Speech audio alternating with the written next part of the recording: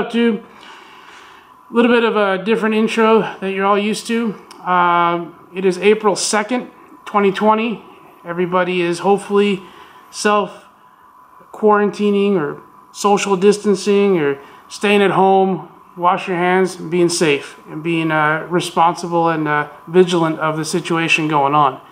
Uh, we got a lot of projects going on, little things we're trying to keep busy uh, as we can't go anywhere in the afternoons and we can't go to the movie theaters and stuff like that. So hopefully everybody's got something they're doing. Uh, we're working on our garage. Uh, last video showed what we were doing. We're about 75% done. This is a little bit of a preview, but uh, we'll go over in detail once it's fully complete, hopefully next week. So today we're going to go touch on the Lexus, the IS. It's painted. It has been painted, and you might have seen a couple little snidbits of it uh, in a few previous videos, but it's been painted since uh, Christmas break. We painted it over Christmas break, a nice quick rush job. Unfortunately, I got some photos, but I don't have any video of the actual spraying. But what we're going to do today, we're going to go over what we used. My guns, the air system, uh, the paint, and the materials to prep. And it is no longer that rattle can safety blue from Rust-Oleum. It is now an even color of, well, we'll see in a minute after we go over the components.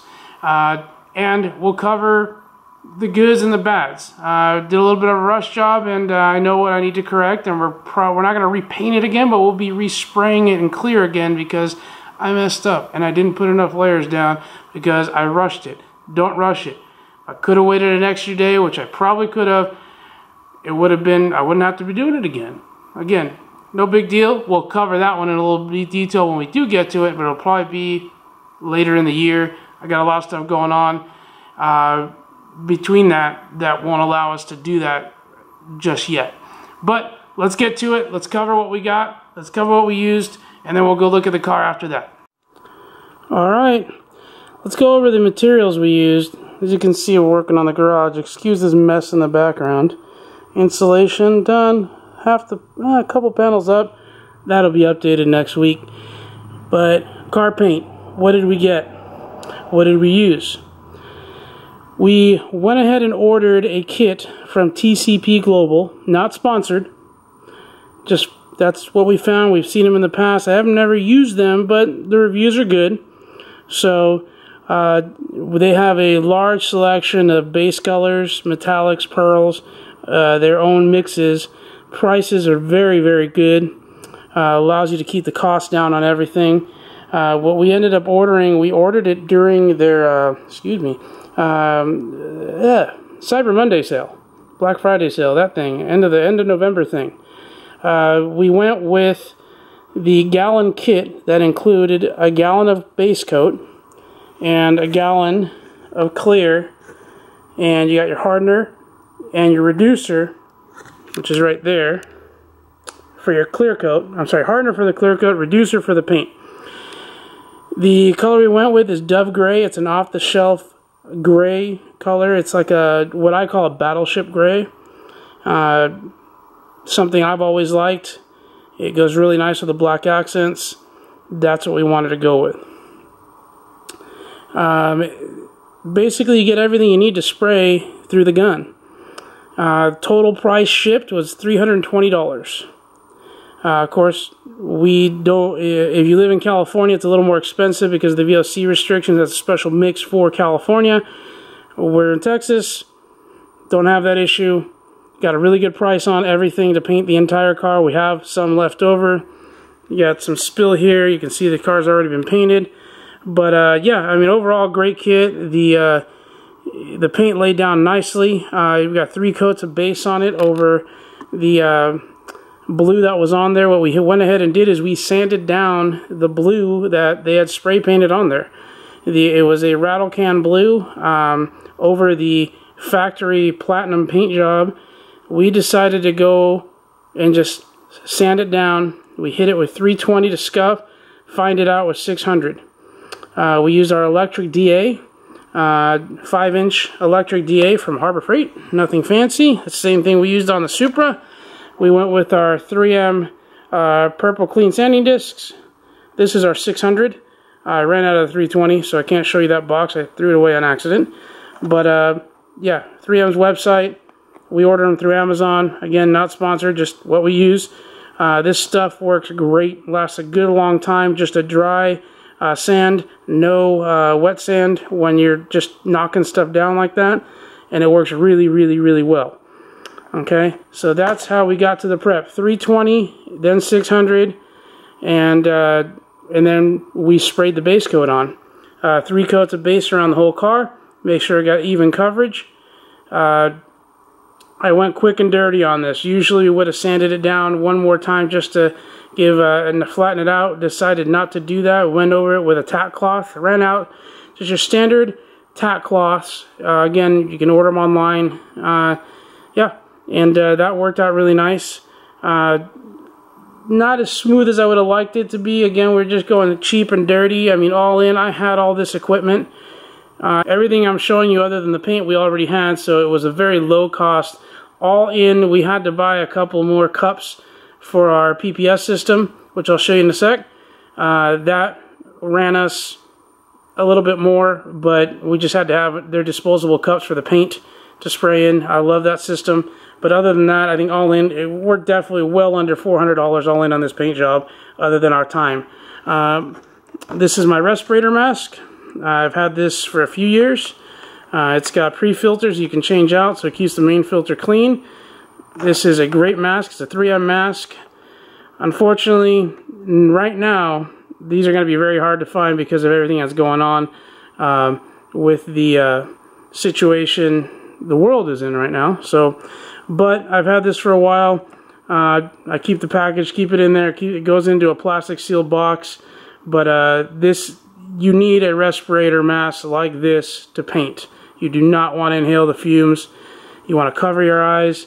Uh, when I painted, uh, I was wearing pants. I was wearing long sleeve shirts. I don't have coveralls. I'm not a full-time painter. This is my second full paint job ever on a car this is something I learned how to do. So that's that guy. And the finishing discs we used, we tried these Tiger Shark brand discs. This is for our 6 inch pneumatic DA, so air DA. And uh, we ordered these off Amazon. They had really good reviews. Uh, I wanted to use the 3M Trizact, but I'm trying to save money. This cost me a third of the Trizact, So for and I have a bunch left over. This is fifteen hundred and three thousand, and uh, yeah, I mean for the price, they lasted a good time. This is a uh, I, I used it exactly like I would use the Trizact on the pneumatic six inch DA. Uh, we sprayed, we put it on the DA. We sprayed the panel down with some water, just water, and we wet sanded with the DA on the big areas. The small areas, we just took the sandpaper by hand and got the edges nice and smooth. Really, really, really good. Again, not sponsored. Um, but yeah, this stuff works great. Found it on Amazon, about a third of the price of the Trizact. Trizact is a little bit better, lasts a little bit longer. But for the price, if you're a DIY guy, if you're doing this as a hobby on your bikes, on your cars, you cannot go wrong with this. I'll toss that down here.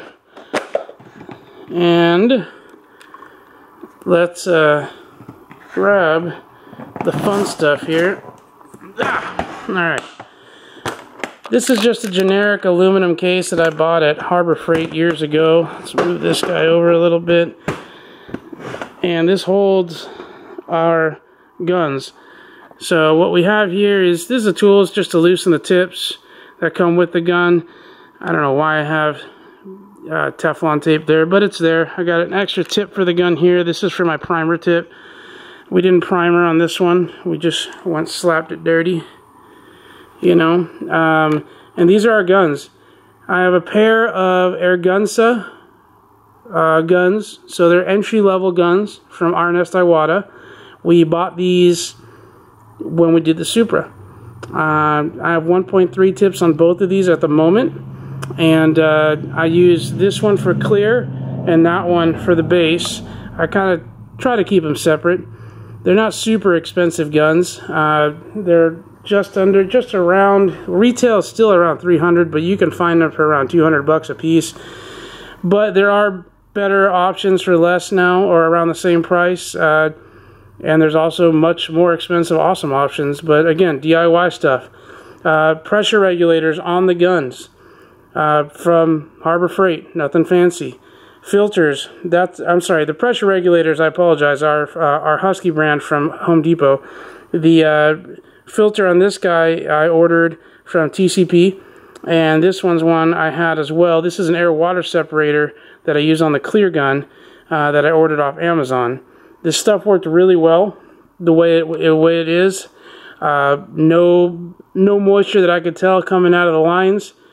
On this particular setup, I didn't have all my lines set up, so I didn't have anything super long snaked lines like I'm gonna do for the future uh, to really keep the air super dry. Coming out of my compressor goes into a water oil separator, goes out to the outlet before it goes out to the hose. I have a, a desiccant filter and an air water separator there too. So you want to keep your air as clean as possible from moisture to go when you go to paint a car or paint anything for that matter. So these are my guns. Super simple. They're set about 28 psi uh, to spray. Um, Alright, so one thing I love, like I mentioned, is the PPS system. This is another 3M component. You can buy this uh, directly from 3M. You can get it on Amazon. This is their original version. That's all the components I have for it. Um, the nice thing about this is you can actually pour your paint. You got these little disposable sleeves. They go in here. You have the measuring on the outside or on the outer cup, the hard cup that's reusable. You fill your paint to your mixture. And you can see you can go 4 to 1, 6 to 1, however you need to mix. It's all on there. You lock this down. Obviously, you take this little tab guy off lock this down, okay, and then uh, like that. This is open, obviously. It's got a pre-filter on there. There's a couple of different options. And uh, you get an adapter for your gun. You put it on the gun. These go down like that. And they just turn in. And bam. So this goes on the gun. You snap it tight on the adapter. And when you have your air gun, you turn it upside down, you let the air feed, you poke this up, and this allows, this is going to create a vacuum and push all the, the disposable cup is going to push up against paint. You flip over, and you're ready to shoot. This stuff works great. These are the 20 ounce ones. You can go bigger. They have a bigger one. Um, but yeah, so these PPS cups I think are awesome. Uh, it makes things go a lot faster you can just bam bam just go get rid of this one get another cup on there in there fill it mix and keep going as opposed to having to clean out a cup and doing that a lot of pros use this it's not super expensive you can get a starter kit for right around I think $50 it comes with six cups uh, two hard cups I believe and six of the soft disposable cups you can get an adapter but once you have one you can use it forever it's aluminum it's really nice so yeah that's all we use so that being said uh, I'm going to show some pictures of the prep work we did on the on the uh, Lexus. I'm sorry, uh, on the IS300, and before and uh, after we uh, laid the base coat. And uh, unfortunately, I didn't film during that time, as I mentioned before. And then we'll go over, we'll get some beauty shots outside and a quick walk around. this is a you know a little gritty, dirty video, just showing what we did. Because I got some other installations we did on the car after that and uh, yeah, uh, you guys will be like, hey, the car's gray now. It's not blue. So, got stuff coming up. Uh, let's go over. Let's go look at the car. Yeah. Let's get to the car.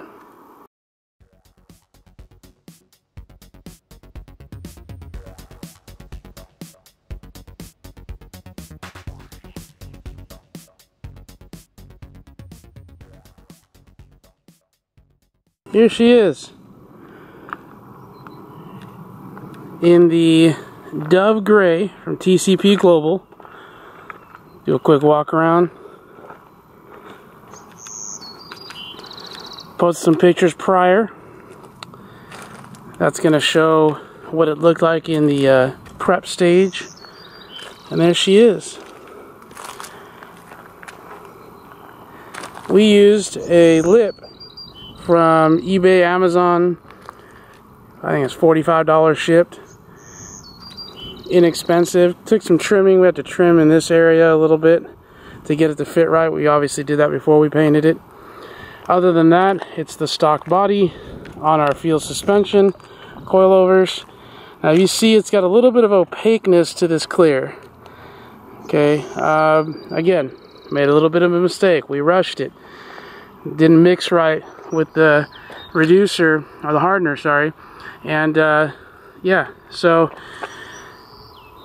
minor mistake, a little bit of overspray. We wet sanded it with 15, 2, and 3000, buffed it out. Uh, we're happy overall the way it looks, but even though it's the daily, even though it's not the show car, we want, I want it a little better. So what we're going to end up doing is we're going to sand the clear down, not all the way, scuff it up, you know, uh, and uh, we're going to re-clear it. Uh, it's going to be a few months before we get to that. Got other stuff happening, but just want to take a look at it. I'll do a little bit of cool B-roll shots, as they call it. Uh, got the new wheels on there as well.